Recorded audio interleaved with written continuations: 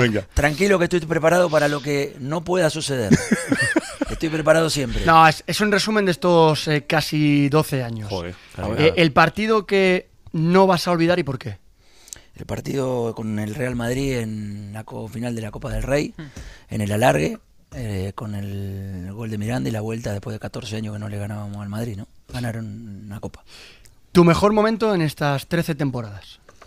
El primer año que ganamos la liga en el 2014. ¿Y el peor? Es la temporada pasada en el primer semestre.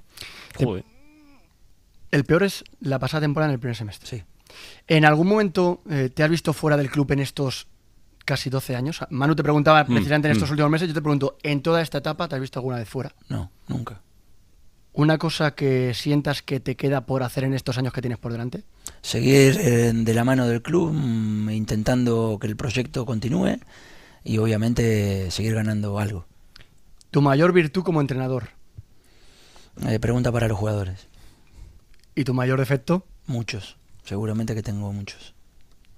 el jugador que más te ha sorprendido en estos casi 12 años. Elegir a uno es injusto con un montón. Eh, hoy está de moda Griezmann, vamos con Griezmann. ¿Y qué jugador te hubiera gustado tener en este tiempo y no has tenido? ¿Qué jugador?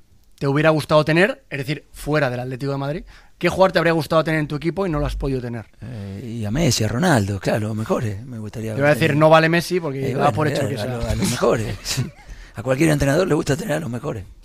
¿Escudo nuevo o escudo antiguo? El antiguo. ¿Tu mayor superstición? Tienes muchas, pero la, la que, Sentarse- di- la que sentarse digas, esta esta silla". no puede fallar para que Contar- funcione todo. contar todas, contar todas.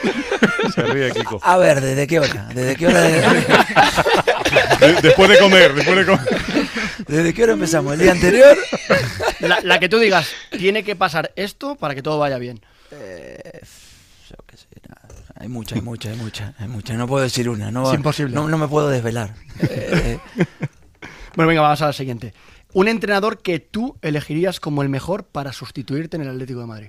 y de los mejores, Klopp, Ancelotti, eh, Pochettino. eh, sí, son los, jugadores, los entrenadores que, me gustaría que estén en el Atlético, son siempre muy importantes. Y la última, ¿qué le diría Klopp, Pochettino, has dicho. Klopp, Klopp, Pochettino. Ancelotti. Ver, Ancelotti. como, como gustarme. Ancelotti. Y la última es, ¿qué le diría el Cholo de hoy al que firmó aquel primer contrato en diciembre de 2011? No tengas miedo. Dale para adelante siempre. Curva fuerte, agarrarla fuerte.